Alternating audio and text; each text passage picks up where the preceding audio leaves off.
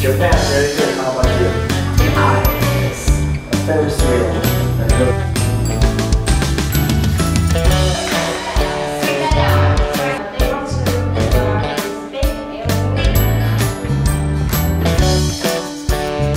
Hello everyone, my name is Alex Merlin and I'm from Pennsylvania in the United States. I've been to many countries and I've cooperated with many English centers, but I've enjoyed my experiences with Talk First the most. Here, each and every student is encouraged to speak English as an only language and we have a creative and uh, comfortable environment for each student so that they will feel excited to come learn with us.